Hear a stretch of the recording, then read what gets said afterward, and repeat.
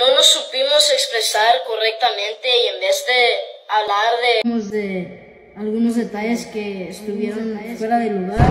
Los hermanos del grupo Yaritza y su esencia dicen estar apenados tras criticar la comida mexicana y salen a dar la cara para pedir perdón tras tremendo escándalo. Este trío de hermanos, que se hizo famoso por una colaboración con el grupo Frontera y que comienza a abrirse paso en el regional mexicano, se convirtió en el blanco de las críticas, pues la vocalista señaló que no le gusta mucho la Ciudad de México por el ruido de los carros, ambulancias y otros aspectos, aunque luego rectificó y dijo era un lugar bonito. Que no también que no tengan chile, no me gusta nada de eso.